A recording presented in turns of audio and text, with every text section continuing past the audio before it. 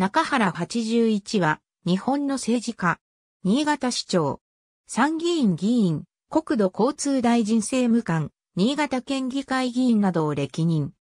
1959年4月に、下越地方の西関原郡内野町に生まれる。新潟市立内の中学校、新潟県立新潟西高等学校を経て、明治大学政治経済学部を1984年に卒業する。大学卒業後に農林水産大臣の近藤元次の秘書となる。翌1985年から1994年まで自民党本部の事務局に勤務し、1995年4月には新潟県議会議員選挙に立候補し、当選を果たす。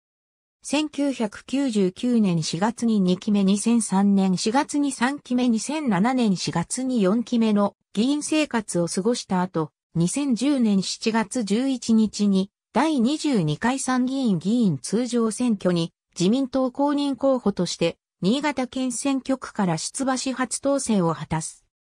2013年9月30日第2次安倍内閣で国土交通大臣政務官に就任し、2016年1月4日からは参議院北朝鮮による拉致問題等に関する特別委員長に就任する。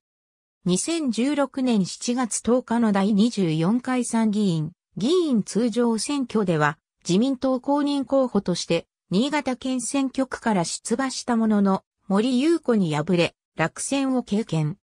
2017年10月第48回衆議院議員総選挙に比例北陸新越ブロックから自由民主党単独22候補として出馬。投開票の結果、落選した。2018年10月28日に執行された新潟市長選挙に出馬し、98,975票を獲得して当選を果たした。これにより、現職の篠田明の任期が満了した後の同年11月18日付にて、第35代新潟市長に就任。2010年の参院選において、中原への票の取りまとめを飲食接待して知人に依頼したとして、公職選挙法違反容疑で、新潟県燕市議が逮捕された、と、新聞赤旗に報道された。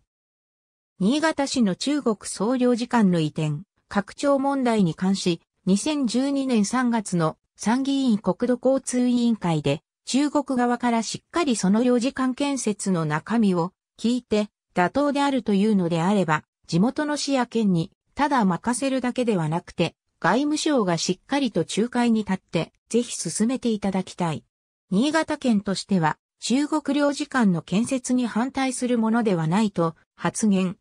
その後2014年5月、総領事館の移転用地売買に関係する不動産会社から政治献金を受けていた事実が判明。献金を受けて不動産会社に便宜を図ったとも取れる発言であるが、中原は便宜を図る意図はなかったとしている。2016年、自身の政治団体や投資部などとの間で、やり取りされた寄付などの政治資金収支報告書への記載漏れが指摘された。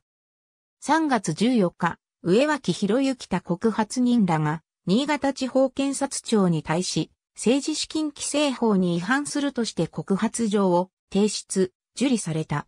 主な被疑事実は以下の通りである。